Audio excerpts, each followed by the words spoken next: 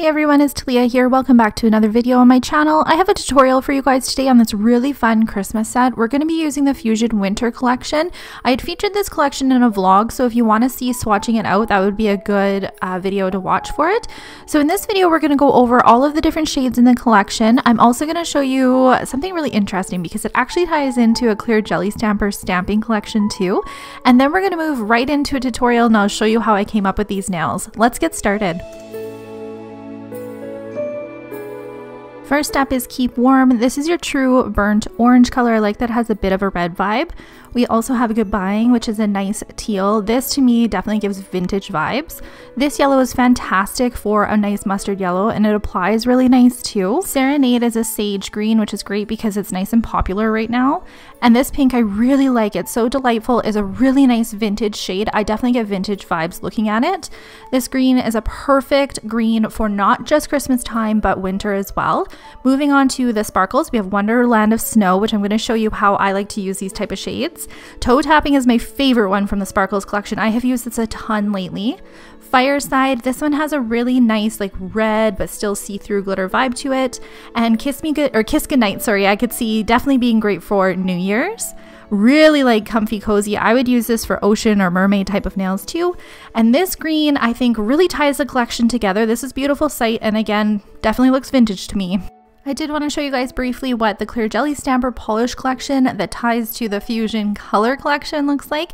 Uh, so the Fuzion collection has six shades. The Clear Jelly Stamper Stamping Polish has uh, seven shades in it, so you do get one that is a little bit different. It's a dark blue shade that has like a tinge of gray to it. It's a really nice color too, but it's always fun when you have stamping polish colors that match the collections that you're using. So I'm going to use CJS 54. This stamping plate is another new release. It's a vintage type of one too. I am also going to use C65. This is a fantastic release this year. It has some great florals, uh, perfect for Christmas and winter nails. Taking some of the beautiful sight glitter, I'm going to apply this to the ring fingers of both of the nails. Now this is a great green, I think. I love that it has some darker greens in it, lighter greens as well as some gold. Next I'm going to use Serenade on the pointer nails and I love the formula of these creamy uh, colors. They apply so nice and the nice thing about them is if you notice like any shadowing or anything, you can kind of just let it settle into itself and it'll work itself out completely. I love this pink in this collection. So this is so delightful and it applies again very nice. And I thought this would go really good on the middle fingers. One of my favorite ways to use these kind of see-through, transparent, iridescent glitters, you guys know I love these, um, this one is Wonderland of Snow, is to apply them as backgrounds for nail art to go on top of them. So I'm just going to take a thin coat down, I'm going to cure it, and then I'm going to go in with these nice gold iridescent flakes, and I'm just going to take a buffer brush like this one, so it's got a really nice dense um, head to it. And I'm just going to drop it in the dispersion layer of the nails. And this is going to lay nice and flat, but also create a really fun dimension to this too. I'm going to encapsulate it in some gel, give it a file, and then we're going to go in and do our stamping. I knew I wanted some beautiful poinsettias on top of those clear nails.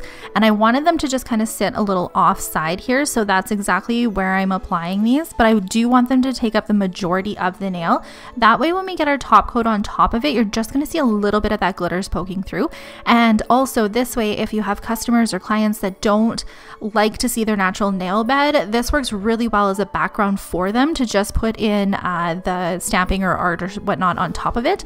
So you've got that really fun glittery base, but then you have some art on top of it. One of the reasons I like to wear gloves when I'm stamping is so I can remove images on the stamper that I don't need. Obviously, I can do this on my nail too, but then I don't get polish on my nails. So on the pink background nails, I did want to do some Christmas lights so that Originally, I stamped the core down with that really nice dark green. It almost looks black, but it is a dark green. And then I went in and did the Christmas lights like on their own without stamping them individually, and it definitely didn't work. It didn't I couldn't get it to line up very well and I just wasn't liking it. So I decided to stamp them individually, and this worked a little bit better for the idea that I had in mind.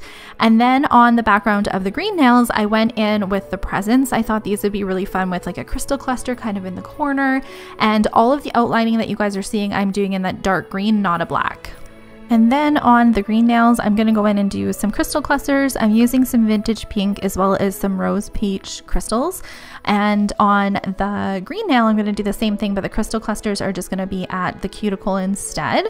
And lastly, I'm going to take some of Fuzion's recent top glosses. I'm going to take this Eclipse color, which is a fantastic white shade, and I'm going to apply that all over the thumbnail and the pinky nail. And this will just give a really light shimmer to the florals on top of it. And then I wanted to show you guys the difference between that and just a regular top coat too, uh, so you can see how, what the shimmers would do for it.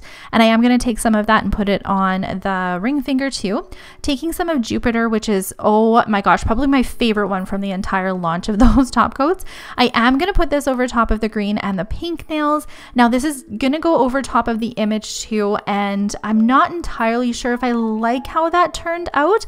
I think next time I would almost do the matte top coat down first, then do the stamping on top of that, and then a top coat on top of that, just so I don't have the glitters kind of on top of the colors like you guys can see here. Uh, but overall, I thought this design turned out really fun. It was really fun to incorporate the Fuzion winter launch with the clear jelly Stamper stamper stampers. There's just so much I could do with it. So thank you guys so much for taking the time to watch this video. I really liked showing you guys the collection a little bit after it launched here. Uh, that way I could tell you some of my favorite shades and how they applied and what I thought of them, but definitely comment below and let me know what you guys are thinking about the Fuzion Winter Collection for this year too. Make sure you're following me on all my social media and I will see you in my next video. Bye!